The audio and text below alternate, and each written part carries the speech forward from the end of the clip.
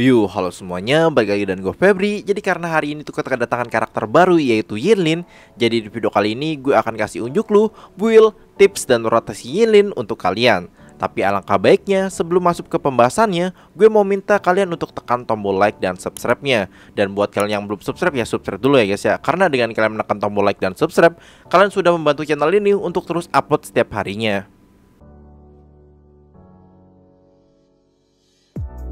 Pertama, di bagian basic attack Yinlin itu bisa ngasih mark ke musuh.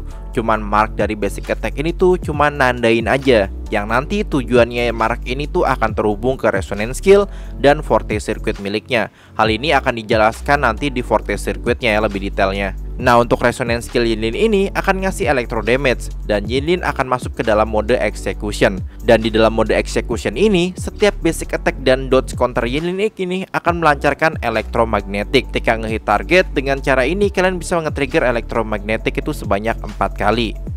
Elektromagnetik ini akan menyerang ke musuh yang sudah ditandai sama Cinder Mark dan resonance skill Yinlin ini bisa digunakan sebanyak dua kali. Hal ini nanti akan gue masukkan ke dalam rotasi Yinlin ya. Jadi gue akan jelaskan di bagian rotasinya nanti di bagian dua skillnya ini. Dan untuk resonance celebrationnya akan mengakibatkan electro damage bonus saja. Lalu untuk forte circuitnya, Yinlin ini akan mengkonsumsi judgment pointnya yang menggunakan heavy attack dan akan menyebabkan electro damage. Lalu ketika ngehit target yang sudah ditandai dengan Cinder Mark, maka Cinder Mark ini akan berubah menjadi Punishment Mark yang akan berlangsung selama 18 detik. Dan untuk ngasih tanda Cinder Mark ini ada tiga cara yaitu kalian bisa melancarkan Basic Attack, Resonance Liberation, dan Intro Skill. Hal ini akan ngasih tanda ke musuh atau ngasih Cinder Mark ke musuh. Lalu ketika musuh terkena punishment mark, maka musuh yang sudah ditandai menggunakan punishment mark akan terkena electro damage. Nah, kalau misalkan kalian masih bingung untuk penjelasan gue yang tadi, di sini gue bakal jelasin lebih mudah lagi ya. Jadi simpelnya, basic attack, resonance liberation, dan intro skillnya si Yilin ini, kalian bisa ngasih sinner mark ke musuh. Nah, setelah musuh terkena Cinder Mark ini, jadi ketika kalian menggunakan Resonance Skill, maka musuh yang sudah terkena Cinder Marknya itu akan terkena Resonance Skill milik Yinlin juga. Begitu juga dengan Judgment Pointnya atau Forte Gaugnya atau Forte Circuitnya ya. Jadi ketika musuh sudah terkena Cinder Mark, lalu kalian melancarkan Heavy Attack ketika kalian menggunakan Judgment Pointnya, maka Cinder Mark ini tuh akan berubah menjadi Punishment Mark. Nah, punishment mark ini akan bertahan selama 18 stick dan punishment mark ini bisa kalian offieldkan si Yilinnya, kurang lebih begitu. Untuk intro skillnya, Yilin ini akan ngasih electro damage. Lalu untuk outro skillnya, Yilin akan ngasih tambahan electro damage sebesar 20% dan damage resonance liberation sebanyak 25% selama 14 detik. Lalu untuk pasifnya, setelah menggunakan resonance skill, crit rate dari Yinlin ini akan meningkat sebesar 15% selama 5 detik. Dan untuk pasif lainnya, damage dari resonance skillnya itu akan meningkat sebesar 10% ketika ngehit target yang sudah terkena Cinder Mark dan attack Yinlin ini akan meningkat sebesar 10% untuk 4 detik ketika nge-trigger pasif yang tadi. Lalu untuk senjatanya sudah jelas gue akan rekomendasikan senjata signaturnya yaitu Steering Master. Main stat dari senjata ini akan mempermudah kalian ngebuild karakter ini dan pasifnya juga akan kasih tambahan damage untuk Yinlin kalian. Dan di senjata kedua, kalian bisa kasih Yilin ini dengan senjata Cosmic Ripples. Karena senjata ini tuh main startnya attack. Jadi Yilin kalian tuh attacknya sudah tercukupi dengan kalian memasangkan senjata ini Jadi kalian bisa fokus untuk cari crit rate atau crit damage di echo kalian dan untuk senjata B4-nya, kalian bisa pasangkan Yilin dengan senjata Battle Pass. Karena main statnya yaitu crit rate, yang tentu aja hal ini akan mempermudah kalian untuk ngebuild Yilin kalian. Dan akan ada tambahan attack juga ketika kalian melancarkan Resonance Liberation. Lalu di posisi keempat, kalian bisa pasangkan Yilin kalian dengan Jinzo Keeper. Senjata ini akan menjadi pilihan terbaik B4 kalian dari hasil gacha untuk B4 ya. Untuk pilihan terakhir ada Variation. Kalian bisa manfaatin pasif dari senjata ini agar lebih cepat untuk melancarkan outro skill milik si Yinlin. Tapi dengan kalian pasangkan senjata ini ke Yinlin, maka damage yang akan kalian hasilkan untuk Yinlin itu akan turun ya. Dan sisanya kalian bisa gunakan senjata-senjata yang substat atau main statnya itu attack persen. Soalnya senjata Yinlin untuk sekarang itu masih sedikit guys. Ya semoga aja ke depannya itu ada beberapa weapon yang nanti cocok untuk si Yilin ini Entah itu dari untuk main DPS atau main sub DPS nya untuk priority skillnya, karena Jil ini akan mendominan main di Forte dan Resonance skillnya, maka kalian bisa naikin Forte circuitnya terlebih dahulu. lalu disusul dengan resonance skillnya, dan dilanjut ke resonance liberationnya. Untuk basic attack, buat kalian yang main DPS ya kalian bisa naikin juga, dan untuk intro skillnya itu opsional, mau dinaikin atau enggak itu bebas kalian ya. Di sini Yilin bisa jadi dua role yaitu DPS atau sub DPS yang tentunya Echo yang bisa kalian pakai juga berbeda. Kita mulai dari DPS-nya dulu ya.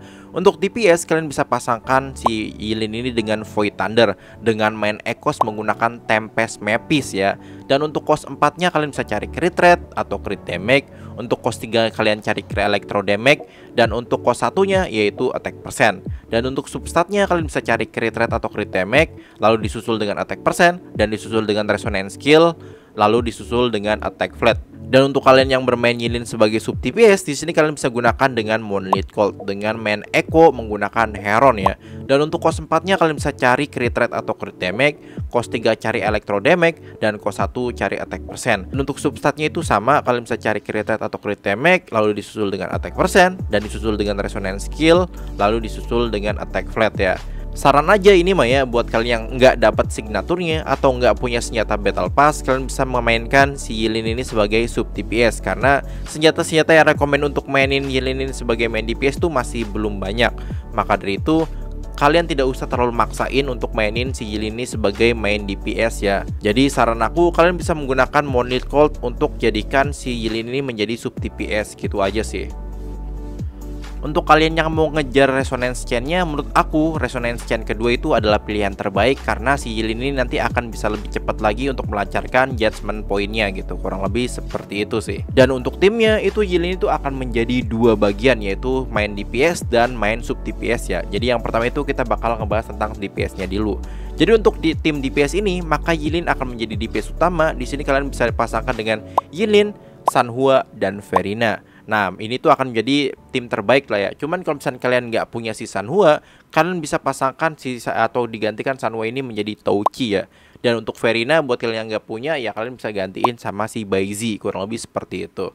Dan untuk party yang sub TPS kalian bisa pasangkan Yilin, Kalkaro dan Verina. Itu adalah the best partinya untuk si Yilin ya.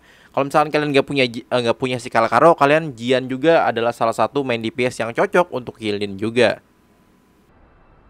Oke ini dia untuk si rotasinya Yilin ya. Seperti biasa kita bakal mulai dari supportnya dulu Yaitu Verina, skill Langsung Echo, langsung pilih ke dia Set gitu kan. Langsung skill aja. Terus, nah kita langsung basic attack 4 kali. Skill lagi. Heavy attack. Langsung burst. Langsung kita rotasi ke Echo-nya Langsung ganti ke orang ini. Langsung ke DPS kalian ya meledak gitu. Kurang lebih seperti itu untuk si rotasinya.